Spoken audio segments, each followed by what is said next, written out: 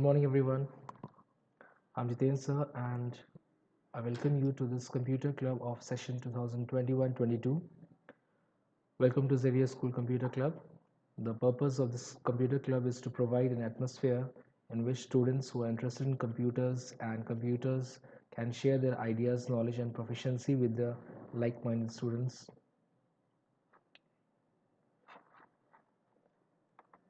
The computer club promotes learning with computers. Students will work with variety of softwares, computer activities, and the promotion of school events.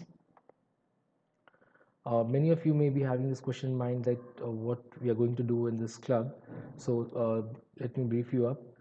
Computer Club organizes and connects students interested in the field of computer science. They cultivate the professional development of members and augment their education with practical skills and project as well as provide a fun and supportive community.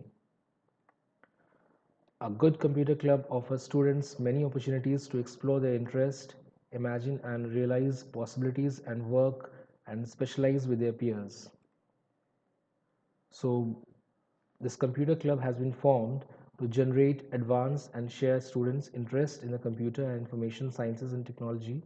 The club will meet weekly and mostly it will be a virtual meeting on clouds. Like we can have uh, virtual meetings either by zoom or by any other means. And the club members will be deciding certain